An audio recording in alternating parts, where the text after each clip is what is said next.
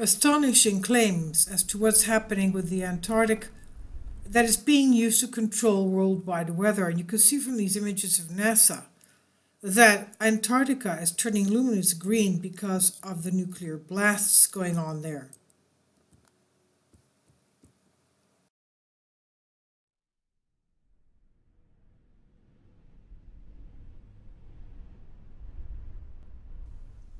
Shocking claim. Antarctica is a big nuclear launch pad from which scientists control the weather. And you won't believe how they do it, why they're doing it, what happens to our atmosphere. Nuclear weapons have been secretly launched from Antarctica and detonated in our atmosphere by scientists intent on controlling the Earth's weather. And they do this so they can tap into its untold natural resources according to a shocking new documentary. Patrick Christys of Express UK reports early August of 1963, a nuclear weapons launch was detected at the South Pole. But there was no fallout, meaning the explosion must have occurred somewhere out in space. The blast was initially denied by American government and military sources, only to be confirmed later on. So, what were they doing? Lying? Or were they uh, declaring something that was unknown? The documentary entitled The Real Secrets Hidden in Antarctica Revealed claims the blast could have created a fake aurora and that it manipulated heat around the poles, North and South poles, together. This would make the ice melt through global warming, so the vast underground resources of the Antarctic ice cap then could be accessed for mining. Antarctica is currently occupied by teams of scientists from different nations, and under the Antarctic Treaty, they must all share scientific discoveries with other nations. But the film has a hypothesis, and their theory is that the nuclear explosions in space designed to melt Antarctic could unlock untold riches for nations operating these scientific bases in the frozen landscape. Scientists say that the Lake Vostok is a prime example of Antarctica's potential.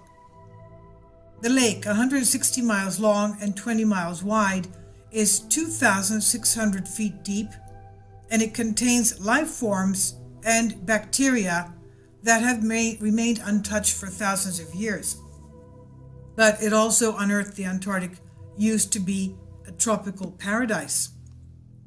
This means resources such as coal and oil could be buried deep in that ice cap and can provide an incentive for superpowers to want the landmass thawed.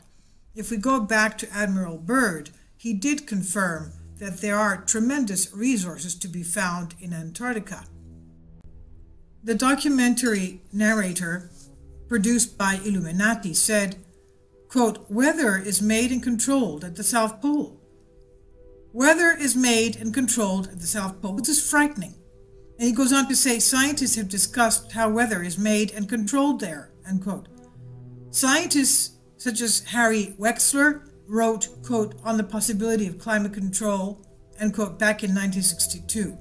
He visited Antarctica and were, that was known to be looking into ways to manipulate the weather. This was back in 1962.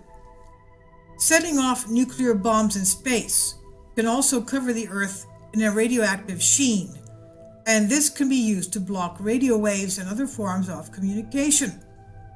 It's like um, an EMP device, either from outer space or from an enemy country during a time of war. Now, what happens is the film finishes, it concludes with a comment from the narrator saying, quote, Support for international scientific research trumps everything else, and it provides the ultimate cover for providing an off limits continent, Antarctica that is, one and a half times the size of the US, where Black Ops work can take place.